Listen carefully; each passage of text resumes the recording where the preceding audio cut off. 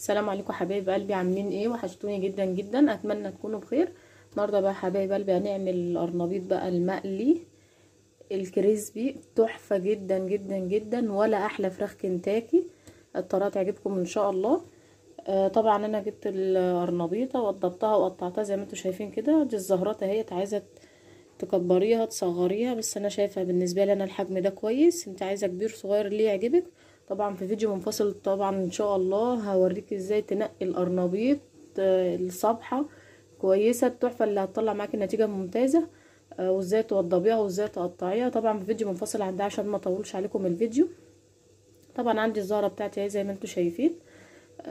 طبعا دي نص كوباية لبن قرن فلفل ملح كمون. ده للسلق بس. آه طبعا ما تستغربوش اللبن هيخليها معاكي تحفة جدا جدا. بصي نصعه البياض كده أحلى قرنبيط هتعمليه بالطريقة دي أتمنى تجربوها تدعوا لي بإذن الله. طبعا قرن الفلفل ده هيديله ريحة تحفة جدا جدا جدا. والكمون أساسي سلقتي قرنبيط سلقتي كرنب لازم أساسي عشان الغزال طبعا الملح بتاعنا طبعا هوريكم كده معايا مية على النار بتقلب. بصوا كده حبايبي معايا المية على النار بتقلب اهي ولازم تكون بتقلب. هنحط أول حاجة. اهي نص كوباية اللبن أهي. طبعا قرن الفلفل زي ما قلت لك هيدي ريحة للقرنبيط تحفة جدا جدا. والكمون والملح معلقة كبيرة كمون معلقة كبيرة ملح. كمون زي ما قلت لك أساسي من عشاق القرنبيط. طبعا أول ما المية بتاعتنا تقلب مع اللبن والفلفل والكمون والملح هننزل بزهرات القرنبيط بتاعتنا.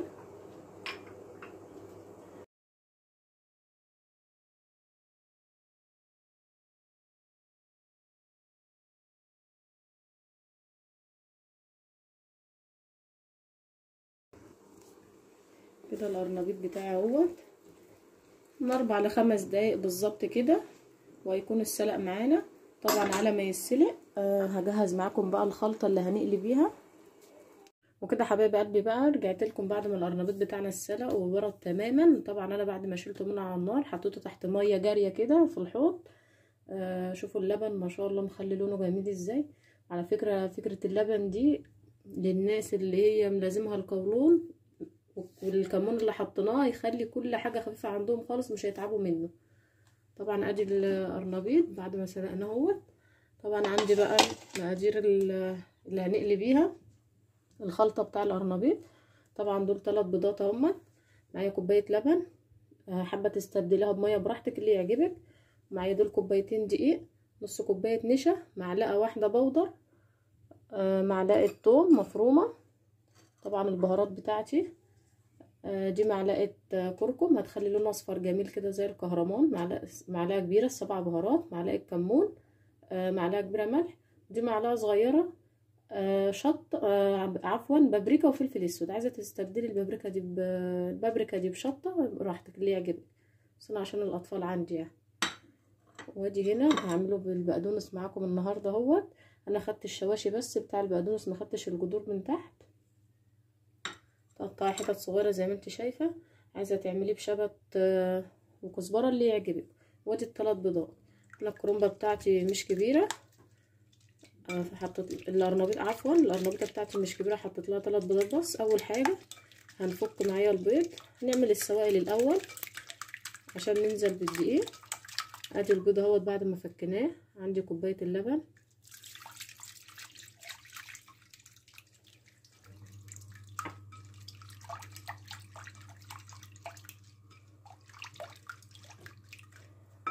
طبعا بصوا البودر معلقة واحدة بس صغيرة عشان أنا مش عايزة البودر كتير عشان الطبقة الخارجية ما تنفش قوي من على القرنبيط أدي البودر اهوت هحط النشا.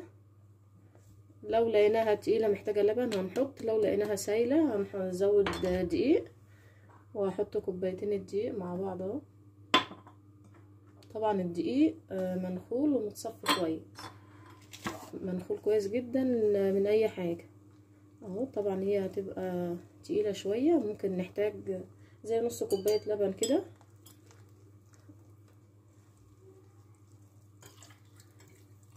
طبعا هي تقيلة. أهي هزود لبن.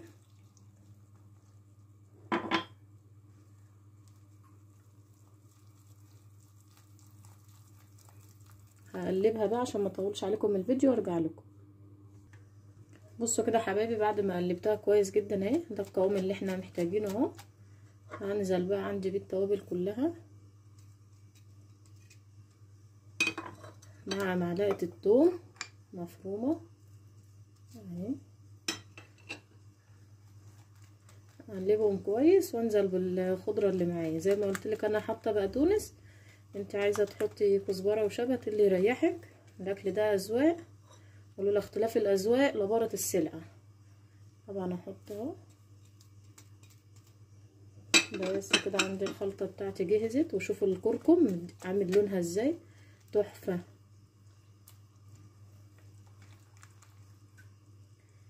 تحيقي بقى الملح بتاعك وخلاص بتبدأي بقى إيه تقلي على كده. طبعا أنا هجهز حلة طبعا هو بيحتاج زيت غزير جدا. فأنا عشان عندي كده حلة صغننة صاج قديمة أه لما بعمل زلابيا بلح الشام الحاجات اللي هي بتحتاج زيت كتير فالطاسة طبعا بتبقى كبيرة فعشان ما استهلكش زيت كتير ومش هيبقى باين في الطاسة هتاخد زيت كتير قوي. فأنا عندي الحلة دي قلت بدل مرميها أعملها للقلية بتاع الحاجات ديت اللي هي بتحتاج زيت كتير وتبقى ملمومة وفي نفس الوقت ما استهلكش زيت كتير وفي نفس الوقت برضو ما ادهولش البوتاجاز قوي. أنا هجهزها دلوقتي على النار وهرجع لكم إن شاء الله. طبعا هنا يا حبايبي دي الحلة اللي قلت لكم عليها هي. وادي الزيت اهوت فيها. عندنا بقى بناخد زهرة القرنبيط بتاعنا كده بنقلبها في الخليط بتاعنا كويس.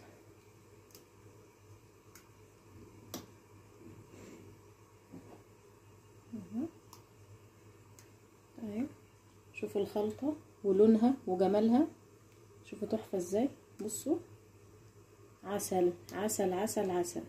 جربوها بالطريقة دي هتعجبكم قوي قوي قوي طبعا لازم الزيت يتقدح معانا جامد.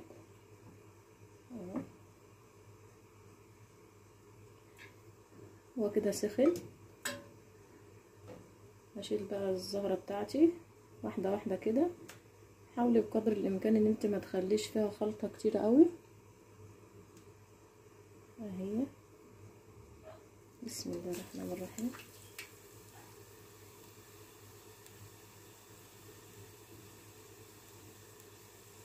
بسم الله.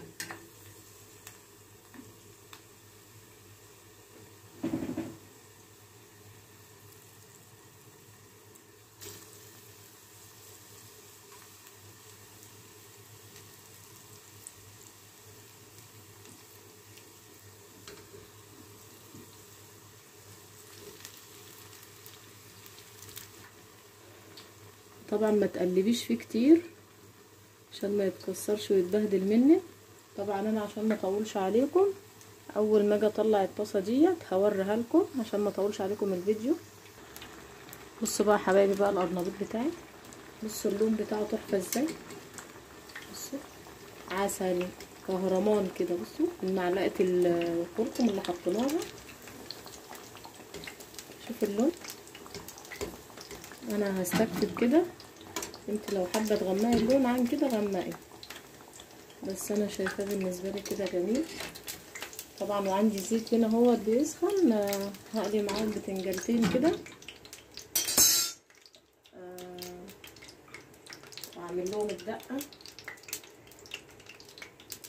هيبقى أحلى غدا إن شاء الله. اقتصادي آه بس بصي والله أحلى من الفراخ واللحمة. أنا عندي القرنبيط ده بصوا أكني كلت حتة مش حتة فرخة ولا حتة لحمة أكني كلت فرخة كاملة. البروتين اللي فيه عالي جدا على فكرة.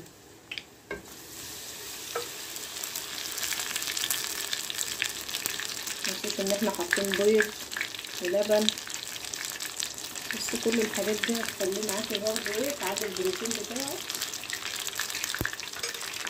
بس كده. وعندي الزيت بتاعي سخن.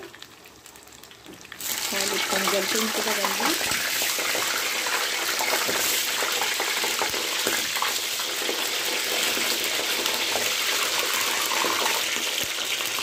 كده بقى حبايبي أنا هكمل قلي القرنبيط شوفوا شوفوا لونه عامل إزاي.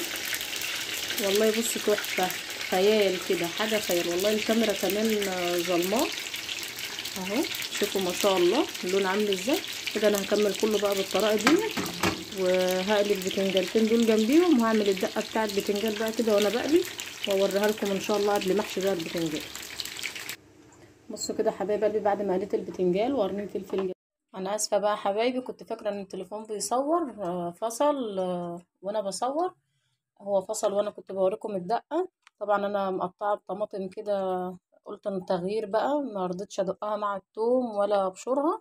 مقطعاها كده حتت مكعبات كده تغيير بس كده في الصنف أهو في المنظر العام يعني. وادي البتنجان أهو بعد ما قليته وقليت جنبيه قرنين فلفل. هاخد أنا بقى كده أهو البتنجان بتاعي. واخد من حشوة طبعا الطماطم ومقطعة معاها قرن فلفل حامي كده وفلفل أسود أهو طماطم وفلفل. وتوم وخل وليمون. أزيد من كده مفيش ومعلقة صغيره فلفل أسود. مفيش أي حاجة توابل خالص غير ملح وفلفل أسود والطماطم والفلفل ومعلقة خل وعصرة ليمون.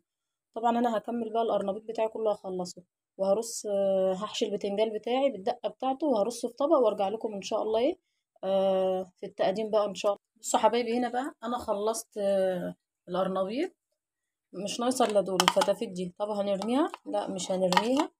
أهي. أنا مش هقلبها في الخلطة كلها لأني عايزة الخلطة. هحط عليها معلقتين معلقتين ثلاثة كده وهعملها قرص. وطبعا الخلطة دي مش هنرميها. أهو كده دي طبعا هنعملها قرص مع بعضيها هي. أدي هنركن دي على جنب. طب والخلطة دي بقى؟ تفضيها في حاجة نضيفها كده زي الشطرة وتحطها لي في التلاجة وتستنيني بقى بكرة في الفيديو بتاع الفطار. أحلى فطار بكرة هينزل. والخلطة دي بقى نعمل بيها بصي أحلى راس تحفة. للفطار. أنا في التلاجة بقى واستنوني في الفيديو بتاع بكرة هوريكم هنستخدمها إزاي. هكمل أنا بقى القرص دوت واتصل اللي فيها القرنبيط ديت اخلصهم وأرجع لكم. بصوا كده بقى حبايبي غدانا النهارده بعد ما خلصته شوفوا أدي طبق البتنجان أهو. ورايكم في البتنجان الحجم العائلي ده؟ بيبقى طري زبدة من جوه كده بيبقى بصوا بقى مليان لحم وزبدة كده من جوه. ده طبعا بصلتين ميني بصل كده زي ما أنتم شايفين. ده شوية زيتون على فلفل وادي القرنبيط بتاعنا أهو. شوفوا ما شاء الله بصوا القرنبيطة. سامعين؟ بصوا. وطري من جوه. شوفوا. شوفوا جميل إزاي. كده بقى حبايبي. استنوا بس اكلها الأول. كده بقى حبايبي أكون خلصت معاكم فيديو النهارده. أتمنى غدانا بقى النهارده يكون عجبكم والفيديو يكون خفيف على قلبكم كده. طبعا لو عجبكم الفيديو اوعوا تنسونا في ال like وال share عشان الكل يستفيد فضلا وليس امرا. لو ما اشتركتوش في قناتي أتمنى تشرفوني وتفعلوا زر الجرس ليوصلكم كل جديد. والسلام عليكم ورحمة الله وبركاته.